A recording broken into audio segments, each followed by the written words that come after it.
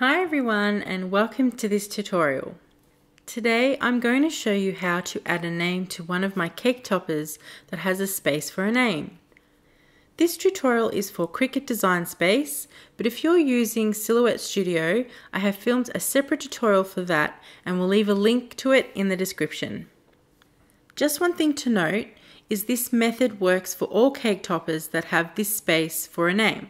So the design might change, but the process is still the same.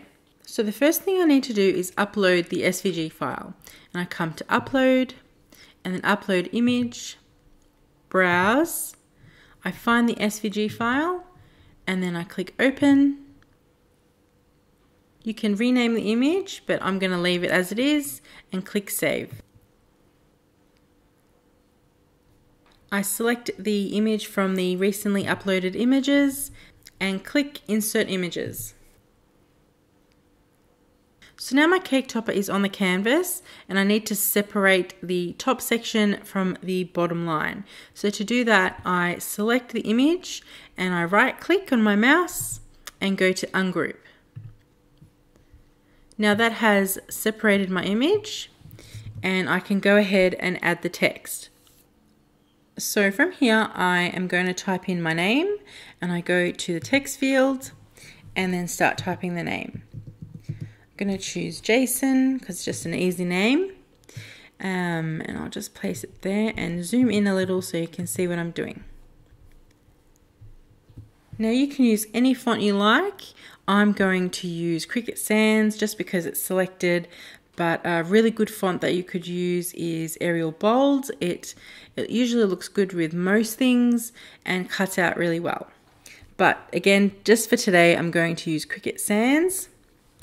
And so the idea is to make the name big enough that it looks good with the rest of the topper. So I come down here to these two arrows and I'm just gonna click and drag until I get a good size. That seems good.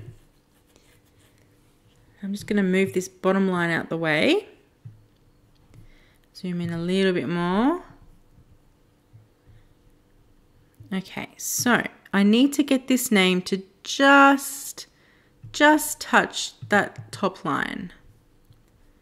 See how it's just barely touching? I need to do the same for the bottom line.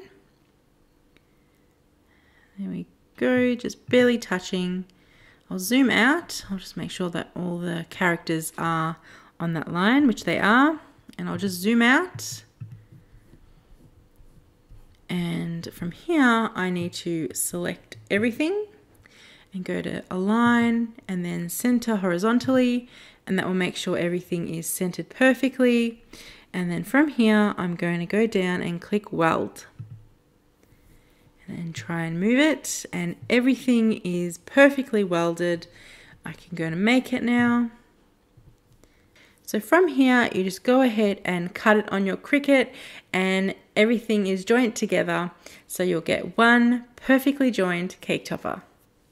Thank you guys so much for watching and I'll see you again in the next video.